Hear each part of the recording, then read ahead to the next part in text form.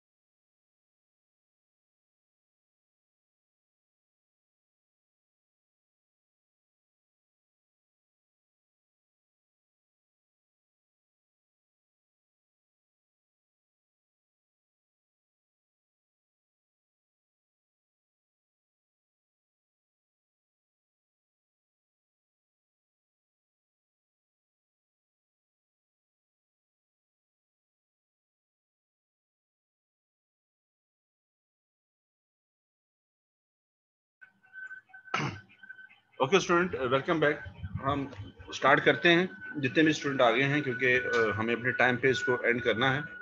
और जो भी मामला आता है, हमें टाइम पे वाइंड अप करने हैं। तो मैं अपनी स्लाइड को दोबारा से स्टार्ट कर रहा हूँ, जहाँ पे हमने एंड किया था।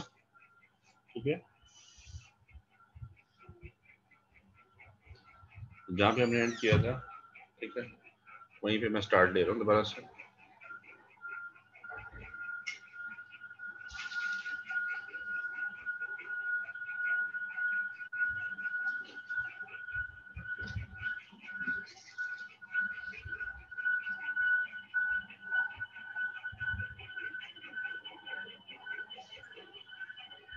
आपको स्क्रीन नज़र आ रही है? यस अच्छा कराची में जो अच्छा रबीउद्दीन ने मुझे मैसेज किया है कि उनकी अटेंडेंस नहीं हुई है मैं अटेंडेंस लगाता हूँ आपकी ठीक है? अच्छा अगर किसी की अटेंडेंस रह जाए तो वो काइंडली अपना नाम अपने आईडी के साथ वो सेंड कर दिए करें मैं उसकी अटेंडेंस लगा दिया करूँगा ठीक है? अगर कभी ऐसा हो जाए कि जिस टाइम मैंने अटेंडेंस ली है उस टाइम पे वो मौजूद नहीं था तो वो फिर बंदा जो भी स्टूडेंट है वो आ, अपना नाम आईडी के साथ ग्रुप में मैसेज कर दें सिर्फ़ और मैं अटेंडेंस लगा दूँ। और कुछ लिखने की ज़रूरत नहीं होगी सिर्फ़ अपना नाम जो आपका ऑफिशियल ऑफिशियल नेम है रजिस्टर्ड नेम है सिर्फ़ ठीक है? वो और आपका आईडी अच्छा यहाँ पे हम जब बात करें कि एट प्रेजेंट जो आपकी पोर्ट्स हैं कराची में कराची पोर्ट है पोर्ट कासम पोर्ट है ग्वादर पोर्ट है अच्छा केमाड़ी पोर्ट भी है आपकी अच्छा ये आपकी कुछ पोर्ट्स हैं, छोटी पोर्ट्स हैं और मारा है, जीवानी है, पसनी है तो ये पाकिस्तान की पोर्ट है। अच्छा कराची पोर्ट बेसिकली जो कहलाती है वो केमाड़ी पोर्ट है, ठीक है? केमाड़ी आपने देखा होगा, वहाँ जो पोर्ट है वो आपकी केमाड़ी पोर्ट है। पोर्ट कासम जो है, ये आपकी यहाँ पे स्टील मिल से थोड़ा सा आगे जाएँ आप तो राइट साइड पे आपको पड़ेगी। और ग्वादर पोर्ट, आपको पता ही है आपकी बनी है, यहाँ पे आपकी, ये बलूचिस्तान में और सी पैक का हिस्सा है वो। और सी पैक पे तो बहुत सारी बातें करने की हैं। मैं चाह रहा था नेक्स्ट क्लास सी पैक पे हम रख लें। उस पर भी देखते हैं बजट पे भी रखते हैं। ठीक है? तो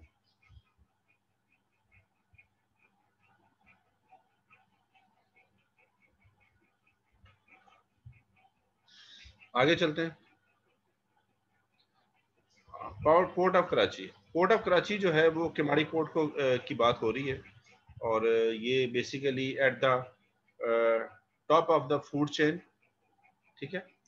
और लोकेशन इसकी जो है, यहाँ पे share in the total national cargo handling geographic position administration देखिए, यहाँ पे कबाड़ी में अगर आप जाते हैं तो आपको ये चीज़ें जो है ना, यहाँ नज़र आएँगी कि बहुत सारी शहर के अंदर ये एक पोर्ट है।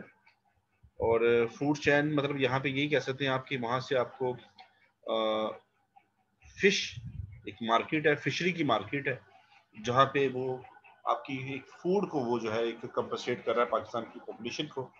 तो आप देखेंगे कि कमाड़ी के साथ फिशरी का एक पूरा डिवीज़न है और वहाँ पे डाक यार्ड और है शिप यार्ड है उसके साथ ही फिशरीज का एक बहुत बड़ा एरिया है जहाँ पे ये यहाँ पे फिशर जो है वो फ़िश को कैच करते हैं समंदर से और वहाँ पे मार्केट करते हैं और वहाँ से एक्सपोर्ट भी होती है और पाकिस्तान के डिफरेंट एरियाज़ को सप्लाई भी होती है, कराची की तो होती होती है। ठीक है? और इसको जो एडमिनिस्ट्रेशन कर रहा है वो केपीटी कर रहा है बेसिकली एक इदारा है गवर्नमेंट का जो इसको हैंडल कर रहा है। ठीक है?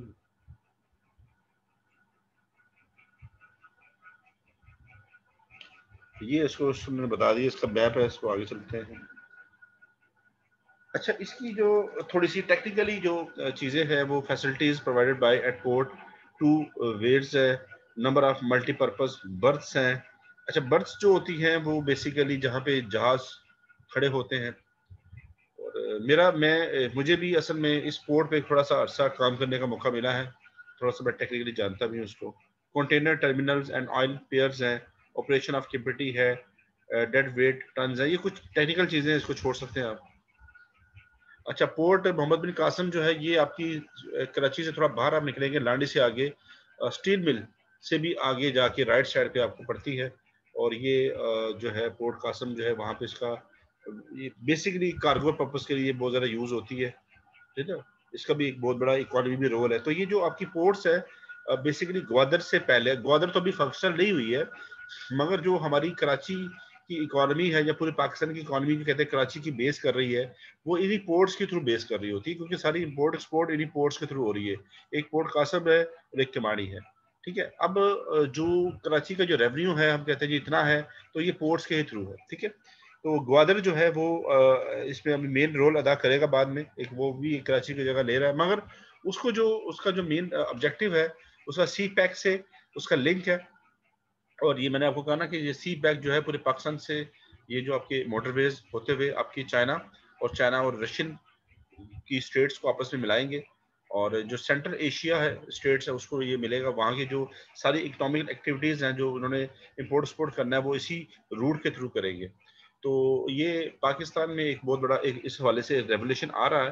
तो मैं कोशिश करूँगा नेक्स्ट लेक्चर में सी पैक के ऊपर भी एक आपको प्रेजेंटेशन दूँ, ताकि मोटरवेज और सी पैक के ऊपर मैं थोड़ा सा काम करूँ। आप भी थोड़ा कोशिश मुझे याद कराइएगा। ठीक है? सलार और नेहा मुझे याद करा दीजिएगा। मैं थोड़ा सा इस पर मटीरियल लेके आऊँगा ताकि इस पर काम बात हो सके। ग्वादर पोर्ट हाँ ग्वादर पोर्ट जो है बेसिकली मैंने उस पर कोई ज़्यादा मवाद अभी आपको लिया नहीं है, मगर मैं चाहूँगा कि मोटरवे और ग्वादर पोर्ट के ऊपर काम सी पैक के ऊपर मैं नेक्स्ट प्रेजेंटेशन आपको दूँ, ताकि आपकी इसमें कुछ इकोनॉमिकली आपके नॉलेज है सो करंट जो जो सैरियो है, वो सी पैक ग्वादर पोर्ट मोटरवेज जो है, और इनके जो जो एक दुनिया जो चेंज हो रही है इस हवाले से, इस पर मेरे चारों प्रेजेंटेशन खुद इंशाल्लाह मुझे याद कराइएगा। मैं इस पर मुझे मंडे को याद कराए मंडे ट्यूसडे को। मैं इस पर प्रेजेंटेशन बना के आपको मैं फिर डिलीवर करता हूँ, ठीक है? तो ग्वादर पोर्ट बेसिकली तकरीबन फंक्शनल हो चुकी है, उस तरह से अभी नहीं हुई है, मगर फंक्शनल होने के बिल्कुल करीब है। तो देखिए, कब ये इसको, मैंने सुना तो था कि कुछ स्टार्ट हो गया मामला इसका, मगर अभी कंफर्म नहीं है। तो जैसे ही ये स्टार्ट होता है, उसके साथ जो मोटरवेज है, जो इसके साथ अटैच है, वो अभी फंक्शनल होंगे, कुछ होने बाकी हैं। तो एक रेवोल्यूशन आना है पाकिस्तान में बहुत बड़ा इकोनॉमिकली तो दुआ करें कि ये पॉजिटिव ही हो। तो इस पर हम, मैं चाह रहा हूँ कि नेक्स्ट सेशन पे इस पर मैं पूरा वो आपको एक प्रेजेंटेशन देता हूँ, ठीक है? आप भी कोशिश करें कि ग्वादर पोर्ट पे सी पैक पे थोड़ा सा आप स्टडी करें। इसके पाकिस्तान की इकोनॉमिक के ऊपर क्या इम्पैक्ट्स आ रहे हैं। तो ज़्यादा पॉजिटिव इम्पैक्ट्स हैं तो हम इसको स्टडी करेंगे और बहुत ज़्यादा एक, एक नई एक हमारी एक स्टडी होगी।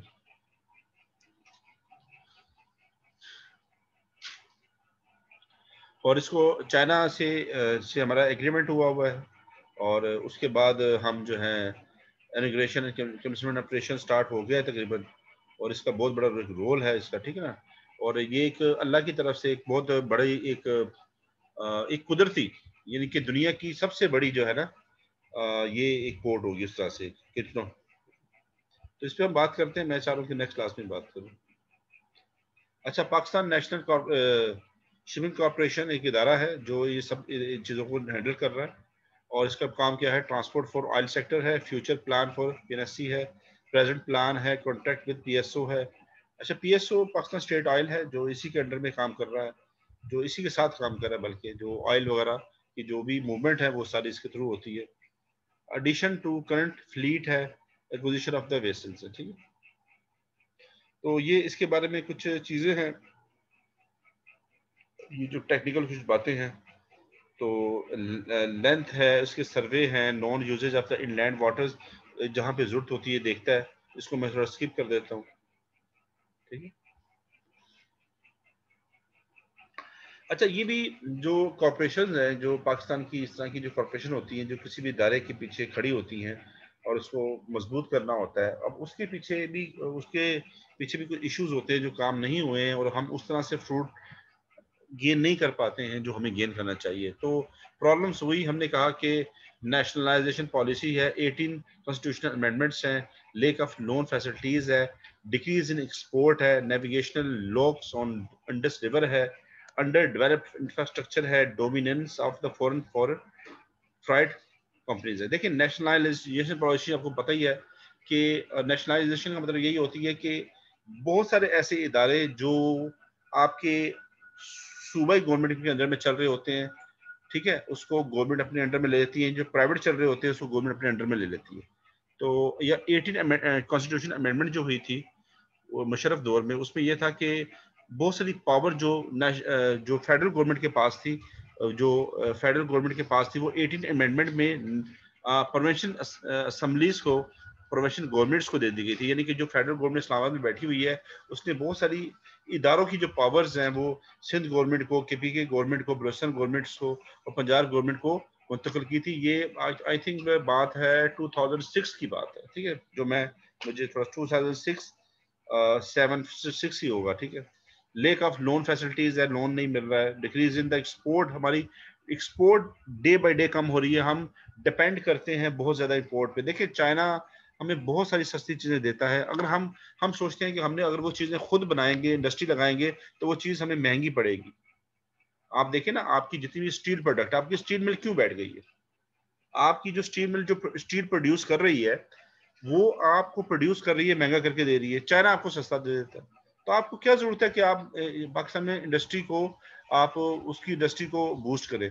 और आपकी जो शिप ब्रेकिंग हो रही है, आप यही शिप जो है ब्रेक होता है ग्वादर के साइड पे, इस तरफ़ जाके पसनी की साइड पे शिप आते हैं, टूटते हैं। वो सारा लोहा जो होता है, वो आकर आपकी स्टील इंडस्ट्री में आता है। वहाँ पे लोहा पिघल के उसकी स्टील की प्रोडक्ट्स बनती है। तो इस पे काम हो सकता है। मगर ज़ाहिर है कि चाइना जो है, दुनिया की हर चीज़ बना रहा है। जब वो बहुत बल्क, आपने शायद कॉस्ट अकॉर्डिंग पढ़ी होगी। कॉस्ट अकॉर्डिंग हमें ये सिखाती है कि जब आप बहुत ज़्यादा बल्क में आप जो कोई चीज़ प्रोडक्ट बनाते हैं, प्रोड्यूस करते हैं, मैन्युफैक्चर करते हैं तो उसकी कॉस्ट कम हो जाती है। जब कॉस्ट कम हो जाती है तो आप जरा इसको कम पैसों में सेल कर सकते हैं। तो आप जब कम पैसों में सेल करते हैं तो आपने पढ़ा होगा कि जब आपकी प्राइस कम करते हैं तो आपकी सेल बढ़ जाती है। तो चाइना के साथ यही है। तो इसलिए बहुत सारे कंट्रीज़ ऐसे होते हैं कि जो, उनकी जो अपनी डोमेस्टिक जो इंडस्ट्री है, वो बैठ गई है। क्योंकि चाइना उससे सस्ती वो प्रोडक्ट जो है ना, वो इम्पोर्ट करके दे रहा होता है उसको। ठीक है?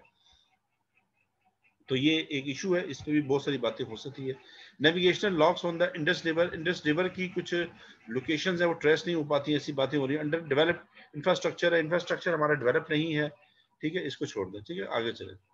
तो ये कुछ प्रॉब्लम्स हैं और ये उसके सोल्यूशन हैं। अच्छा ये उसी तरह के सोल्यूशन हैं कि किस तरह से हम इन चीज़ों को ठीक कर सकते हैं, जो हमारी ये वाटर जो ट्रांसपोर्ट है, उसके हवाले से बात हो रही है पोर्ट्स के हवाले से बात हो रही है। प्राइवेटाइजेशन है, वो जो हमने बात की थी यूनिफॉर्म मेरी पॉलिसी है कि ये सारा का सारा जो है, ये उनको दे दिया जाए। जो नेवी के अंडर में किया जाए। इंक्रीज इन एक्सपोर्ट है एक्सपोर्ट को हम इंक्रीज करें इंपोर्ट को कम करें शिपिंग सेक्टर को बेहतर करें। इन लैंड वाटर ट्रांसपोर्टेशन जो है वो जो भी उसको इंकरेज करें। ठीक है? क्योंकि लैंड वाटर जो ट्रांसपोर्टेशन है, वो बहुत चीप है, बहुत चीप है। रोड के अकॉर्ड किससे कंपेयर कर लें? रोड ट्रांसपोर्ट से कंपेयर करें। या आप या आप रेलवे से कंपेयर कर लें, चाहे आप एयर तो बहुत ही कॉस्टली पड़ती है ना एयर ट्रांसपोर्ट तो बहुत ही कॉस्टली है। तो इन लैंड में देखें, आपके पास जो दुनिया के अंदर जितनी भी एक्सपोर्ट होती है, आपको पता है कि ये शिपिंग के थ्रू ही ज़्यादातर होती है, क्योंकि ये चीप पड़ती है। तो इसलिए इसको बेहतर करना बहुत ज़रूरी है। जब तक आप अपनी शिपिंग इंडस्ट्री को बेहतर नहीं करते, अपनी वाटर ट्रांसपोर्टेशन को ठीक नहीं करते, इसका भी इकोनॉमी पे बहुत इफ़ेक्ट आता है। तो ये बहुत चीप पड़ती है, बहुत सस्ती पड़ती है। क्रूज शिप्स सर्विसेज़ आप लेके आए फॉरेन एक्सचेंज सर्विसेज़ है, आपके पास सेविंग होनी चाहिए। अच्छा जी एयर ट्रांसपोर्ट में सबसे पहले आ जाता है पीआईए पीआईए में भी आप लोगों ने सफ़र किया होगा, या आपके किसी अपने किया होगा। तो ये पाकिस्तान की जो है, ये अपनी जो ये नेशनल एयरलाइन है, और किसी ज़माने में ये दुनिया की बेस्ट एयरलाइन में शुमार होगी। इस पर मैंने एक प्रोजेक्ट रिसर्च भी बनाई थी। तो ये दुनिया की बेस्ट एयरलाइन होती थी, आज नहीं है। तो वही बातें हैं, वही चीज़ें हैं जो हमें कहने की ज़रूरत नहीं है। और फिर भी गुड गवर्नेंस और के थ्रू और अच्छी मैनेजमेंट के थ्रू उसको बेहतर किया जा सकता है। अच्छा मेर, मेजर जो आपके पास एयरपोर्ट्स पाकिस्तान में है इस्लामाबाद इंटरनेशनल एयरपोर्ट है इलामा इकबाल इंटरनेशनल एयरपोर्ट सियालकोट का है Jinnah international airport I think ये आपका कराची का है पिशावर एंड सियालकोट अच्छा। इलामा इकबाल इंटरनेशनल एयरपोर्ट है ये लाहौर का है ठीक है।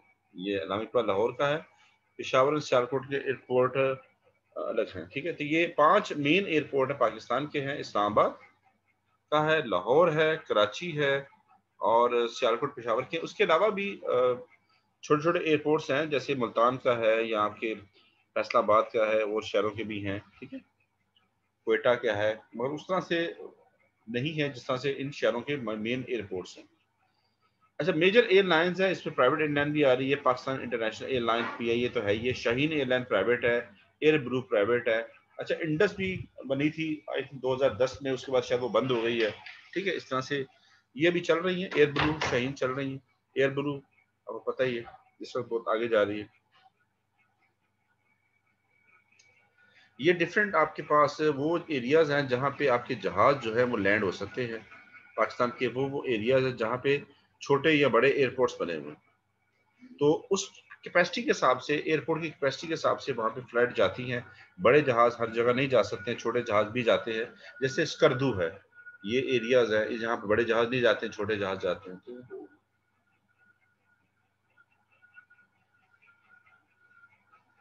ये जो रेड है इंटरनेशनल एयरपोर्ट्स हैं, ये ब्लैक डोमेस्टिक एयरपोर्ट हैं, और ब्लू जो है मिलिट्री एयरबेस हैं, और ये सी पोर्ट्स हैं। अब आप ये देखें कि ये जो रेड है, ये आपका, ये आ रहा पिशावर है, ये इस्लामाबाद है, ये सियालकोट है और ये फैसलाबाद है, ये लाहौर है, ये मुल्तान है, ये रहीम यार खान है और ये कराची है।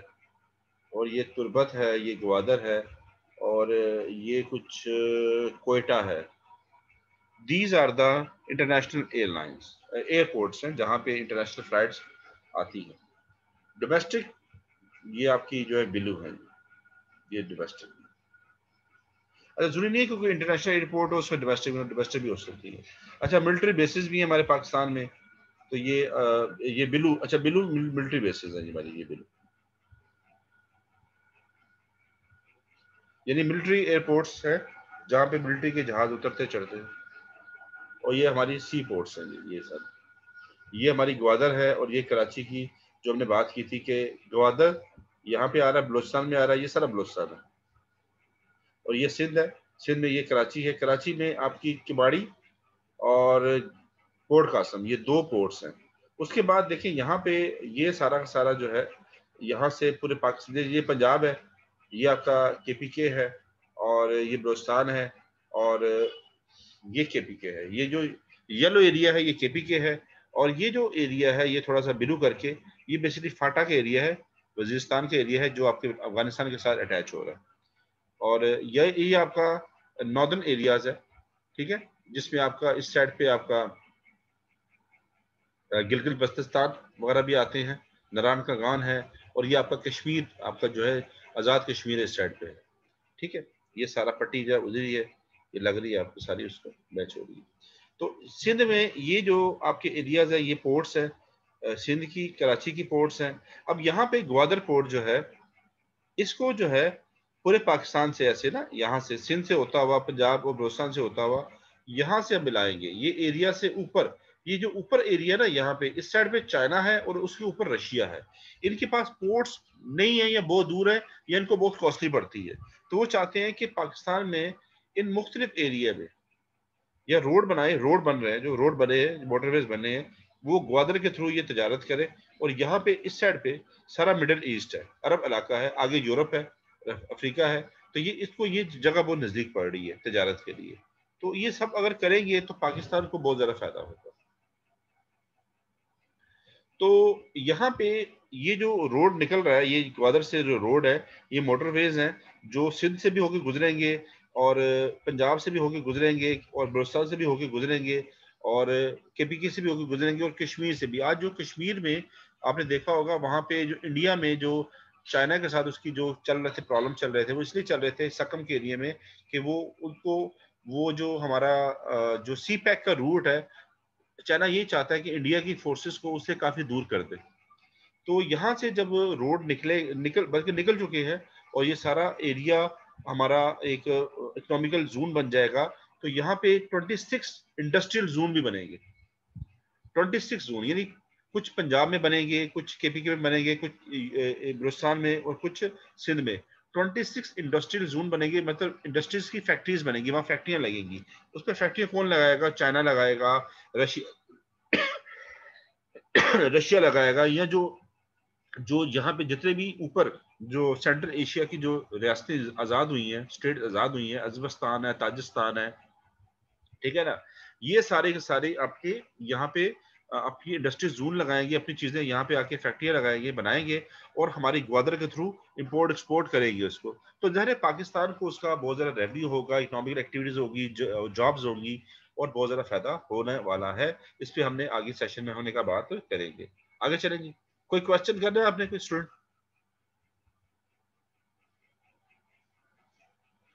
स्टूडेंट कोई क्वेश्चन आप लोग सो रहे जाकर सो रहे जाग रहे?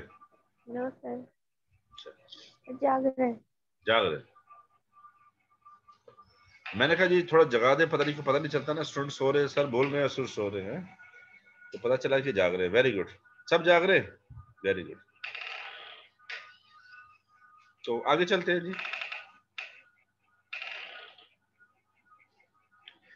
तो एयर ट्रांसपोर्ट जो है PIA Pakistan international airline five strategic business plan बनाता है और उस पर अमल करता है इंट्रोडक्शन न्यू एयरक्राफ्ट उसने लिए हैं रिजल्ट्स आपके सामने हैं फोकस ऑफ़ प्रेजेंट देखिए यहाँ पे हो ये रहा है कि जो भी प्लान बन रहा है उस पर मिसमैनेजमेंट हो रही है उस पर करप्शन हो रही है उसमें बहुत सारी पिछले सालों में, कोई दस पंद्रह साल पहले इस तरह की भर्तियाँ की गई हैं, जो मैं अब साफ़ बोल रहा हूँ, मुझे बोलने दें कि जो मेरिट पे नहीं थी। आपने पायलट जो बिठाए हैं वो भी नलायक थे, ठीक है, जो इंजीनियर भर्ती की, वो भी नलायक थे, जो मैनेजमेंट के लोग थे, वो भी नलायक थे। तो उन्होंने क्या किया? उन्होंने बिल्कुल भी परफॉर्म नहीं कर सके और पीआई को दिन ब दिन वो नीचे ले गए। तो इंटरनेशनल रैंकिंग जो है हमारी बहुत ज़्यादा नीचे हो गई है। तो बेसिकली पीआईए करता क्या है? ये पीआईए की है, ये एयर होस्टेस है। देखें आपके सामने चल रहा है मामला। ये मेरा शायद एयर होस्टेस कोई और होंगी। मार्केटिंग प्लान वो देता है फोरी टिकट सर्विसेज़ हैं facility to non IATA travel agents हैं सक्सेस है बहुत सारी चीज़ें हैं जो ये करने की कोशिश कर रहा है, मगर फिर भी पीआईए उस तरह से नहीं उठ सकी है। अब देखिए, हमारे सामने इतिहाद ये जो एयरलाइन है, ये उठ गई, ये जो हमारी कतर एयरलाइन है यूएई की एयरलाइंस हैं, ये हमारे बाद बनी, हमने इनको ट्रेन किया, मगर ये हमसे आगे चले गए। ये देखें इतिहाद एयरलाइन इसका शेयर फाइव परसेंट है कदर एयरलाइन का सिक्स परसेंट है, शाहीन एयरलाइन का सिक्स परसेंट है। तो ये एयरलाइन बाद में आई है और अपना मार्केट शेयर उन्होंने बहुत ज़्यादा बनाया। तो मार्केट शेयर जो है, ये जरा, ये ज़्यादा होना चाहिए इसका, आगे चलते हैं। ये पीआईए के रूट्स हैं जहाँ जहाँ से पाकिस्तान से पीआईए उड़ता है, ये देखें जी कहाँ कहाँ जा रहा है, ठीक है ना? ये रूट है न्यूयॉर्क जा रहा है टोरंटो जा रहा है, ठीक है ना? फ्रैंकफर्ट जा रहा है पेरिस जा रहा है, ये देखें जी। टोक्यो जा रहा है, ये डिफरेंट एरिया में हमारे जहाज़ फ्लाई कर रहे हैं। और ये जो ये जो एरिया है दिस इज़ द पाकिस्तान और पाकिस्तान से डिफरेंट एरिया में दुनिया के जहाज़ उड़ के जा रहे हैं कम्युनिकेशन कर रहे हैं। This is also the part of the communication network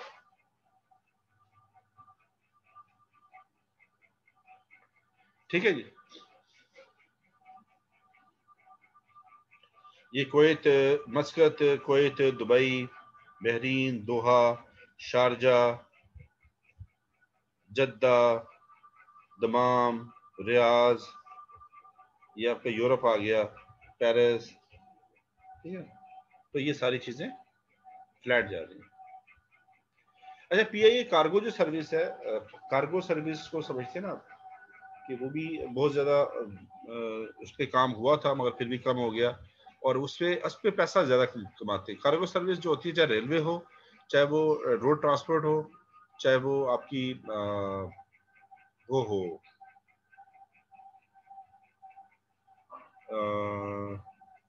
air transport हो मतलब उस पर फ़ायदा ज़्यादा है।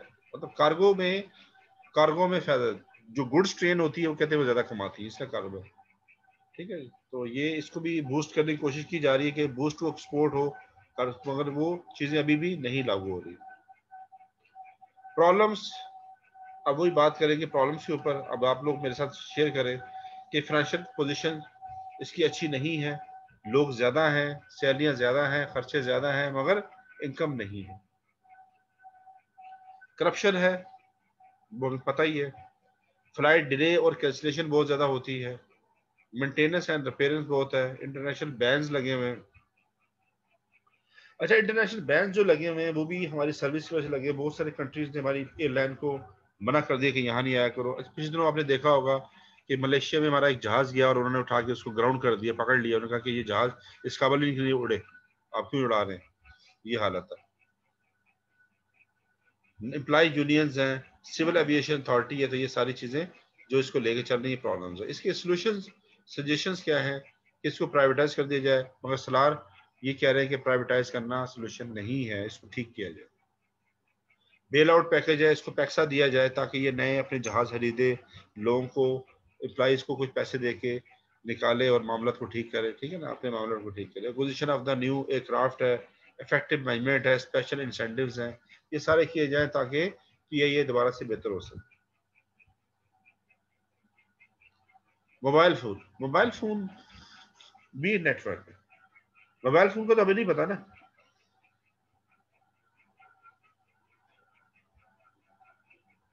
जी। मोबाइल फ़ूड नेटवर्क का पता नहीं पता?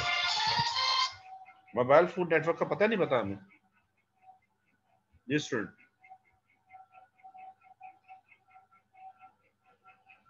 आपकी इसी सेंचुरी जी? जी। इसी सेंचुरी में मोबाइल नेटवर्क मतलब जी। आपकी इसी सेंचुरी में स्टार्ट यूफोन और जोंग वगैरह। हाँ जी जी जी जी। ये कंपनियों ने स्टार्ट हुई और पहले पिटिशल होता था पूरे पाकिस्तान में और लैंडलाइन मतलब लाइनें होती थी, ठीक है? और, फिर एक पाकटल कंपनी आई नाइन्टीज में। याद है आप लोगों को? आप छोटे होंगे या उस वक्त पैदा नहीं हुए होंगे। नाइन्टीज में एक कंपनी आई थी पाकटल और उसके बाद जो कंपनी आई थी वो आई थी मोबिलिक ठीक है? तो ये पाक्टल ने काम शुरू किया पाकिस्तान में और सबसे पहले वही ये लेके आए थे नेटवर्क उसमें बड़े बड़े मोबाइल फ़ोन होते थे और बहुत ज़्यादा कॉस्टली होता था और मोबाइल फ़ोन की बैटरीज बहुत छोटी होती थी और पैकेज बहुत महँगे होते थे। यानी कि इनकमिंग में भी आपको खर्चा होता था। यानी आपने कॉल अटेंड कर ली तो उसमें पैसे आपके चले जाते थे। अच्छा उससे पहले पेजर सिस्टम भी आए थे। आपको एक डिवाइस थी जिसके थ्रू मैसेजेस दिए जाते थे। ये भी अर्ली नाइन्टीज में था और एंडिंग जो एटीज में था, उसमें भी पेजर सिस्टम आए थे। उसके बाद ये सर्वर सिस्टम आया और पाकटेल जो था, वो कंपनी फिर तकरीबन बंद हो गई और उसके बाद चाइना ने इसको परचेज कर लिया। आजकल पाकटल जो है, वो जोंग के नाम से है। पाकटल को परचेज कर लिया था चाइना ने, की कंपनी ने और जोंग के नाम से वो है। और मगर वो अभी आई है, मगर उससे पहले जो है मोबलिक ने बहुत बड़ा नेटवर्क बना लिया मोबलिक पाकिस्तान का सबसे बड़ा नेटवर्क रखता है। उसके बाद आपके पास पीटीसीएल में जो आपके यूफोन ने लॉन्च किया यूफोन है और टेलोर है वारद था। अच्छा वारद को परचेज कर लिया, मोबलिक ने उस पर चला गया और जोग है। तो ये सारे नेटवर्क चला रहे हैं पाकिस्तान में। आपके पास भी डिफरेंट नेटवर्क्स होंगे। तो ज़्यादा कोई अपने हिसाब से यूज़ कर रहा होता। है तो इससे क्या हुआ, एक रेवलेशन आया नेटवर्क कम्युनिकेशन का। तो mobile network covering over 92 percent of the land area Pakistan तक 92 परसेंट एरिया लैंड को कवर कर रहा है। Companies have expanded their network cellular industry has shown growth of the 10 percent cell तो telecom investment जो है, ये बहुत ज़्यादा आपकी जो है, इसमें पाकिस्तान में आई है। सेक्टर पाकिस्तान में more than 12 billion have been invested in the telecom infrastructure and new technologies. Currently, over 92 percent population लोग हैं, ठीक है? तो ये बहुत सारी इन्वेस्टमेंट फॉरेन इन्वेस्टमेंट भी इसमें बहुत सारी आई है। ये जो एफ़ की टर्म है net inflow of F D I foreign direct investment की बात हो रही है, जो इसमें बाहर की कंपनीज़ लेके आई है पैसा। और फिर ये three G four G technology है, ये इंटरनेट वगैरह के लिए डेटा की ट्रैवलिंग के लिए।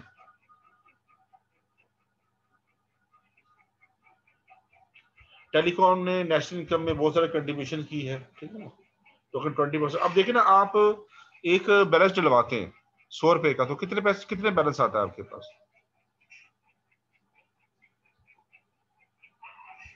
Hello student sir eighty nine या कुछ। नहीं नहीं इससे भी कब आते हैं। मेरे ख्याल में सेवेंटी फाइव या एटी परसेंट आता है। एटी नाइन तक सर आ जाते हैं। सेवेंटी एट आता है। सेवेंटी एट आता ना? पता नहीं ये एटी नाइन क्या रही है। चले कंफर्म कर लें कि ये दस बीस रुपए जो है पच्चीस रुपए जो है ये गवर्नमेंट के उस पर चले जाते हैं। ठीक है? टैक्स में जनरल स्टेट टैक्स में चले जाते हैं। और इससे गवर्नमेंट को जो है ना बहुत ज़्यादा एक रेवेन्यू जनरेट हो रहा है। ये भी एक सोर्स है रेवेन्यू जनरेट की।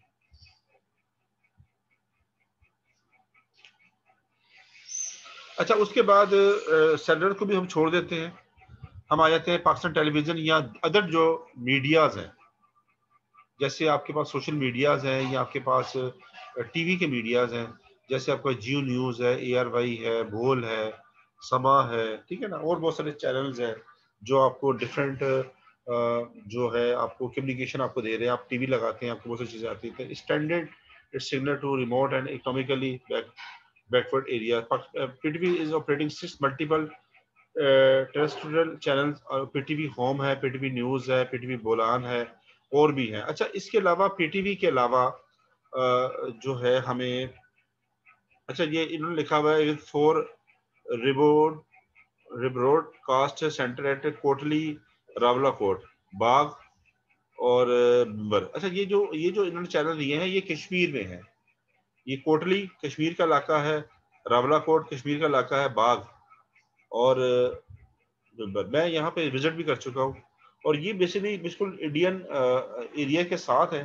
तो इसको बड़ा एहतियात से वो यूज़ करता है पीटीवी इसलिए अलग से ताकि वहाँ सारी चीज़ें ना जाए। पाकिस्तान ब्रॉडकास्ट कॉरपोरेशन जो है इसको हैंडल करती है। एफ़ रेडियो भी है। ठीक है ना? एफ़ रेडियो आपने सुने होंगे। वो भी एक कम्युनिकेशन का ज़रिया है। और इसके बाद इसकी भी बहुत सारे सजेशंस हैं प्रॉब्लम्स हैं कि termination of the mobile services है टैक्सेस हैं नो डॉक्यूमेंटेशन है मिस यूज़ ऑफ़ पावर्स है। तो हमारे पास बहुत सारी चीज़ें आ गई। Broadcast program for eight hours daily in 11 foreign language covering countries Afghanistan Iran China India Bangladesh Sri Lanka तो हमारे पास डिफरेंट तरह की चीज़ें हैं कम्युनिकेशन के लिए जो हमने बात की। ठीक है ना? मैंने शुरू में आपसे बात की थी कि इसमें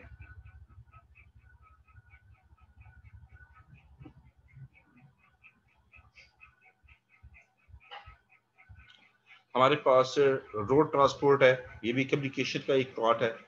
रेलवेज है वाटर ट्रांसपोर्ट है एयर ट्रांसपोर्ट है सेलुलर मोबाइल्स हैं पाकिस्तान टेलीविज़न है, और भी बहुत सारे मीडियाज हैं। ये नहीं ज़रूर यही हो। तो कम्युनिकेशन मैंने कहा था, आपको पहले स्टार्ट क्लास में कम्युनिकेशन का मतलब ये होता है कि एक पॉइंट को दूसरे पॉइंट से मिलाना।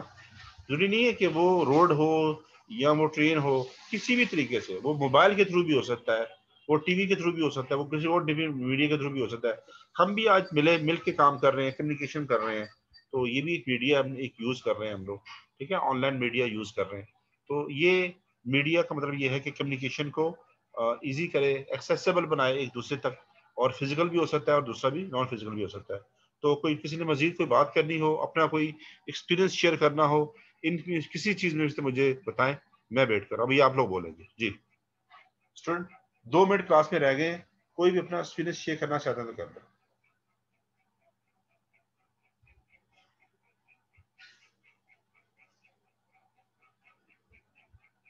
जी, कोई स्टूडेंट का किसी इन इदारों में कोई जॉब करता है या जिनके फादर जॉब करते हैं, कोई एक्सपीरियंस हो तो बताए।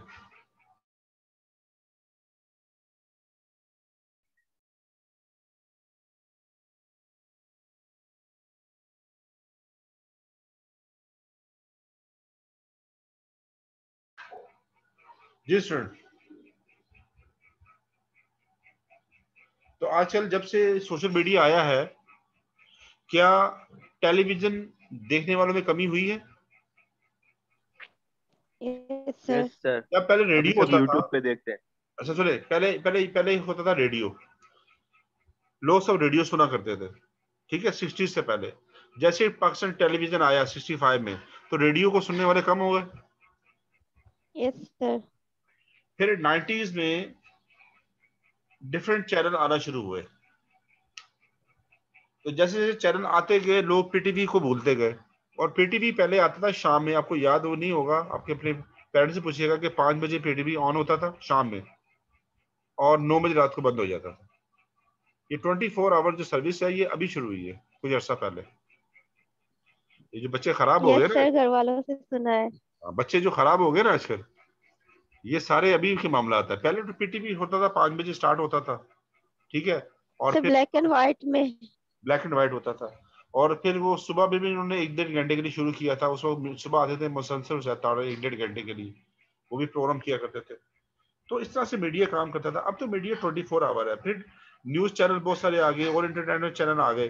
तो दस पंद्रह साल। फिर उसके बाद ये जो आपकी यूट्यूब चैनल इस तरह के चैनल आए उन्होंने फिर इन मीडिया चैनल को खत्म कर दिए। टेलीविज़न चैनल्स अब हम लोग टीवी देखते नहीं है। मेरा खुद टीवी बहुत अरसे से खराब है मैं देखता ही नहीं हूँ मैं सारी चीज़ें यही देखता हूँ यूट्यूब पे देखता हूँ। आप भी ऐसे ही करते हो।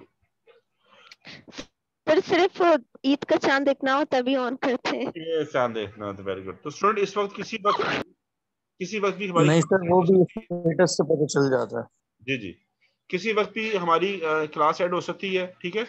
तो मैं ये आपको पीपीटी सेंड कर दूँगा।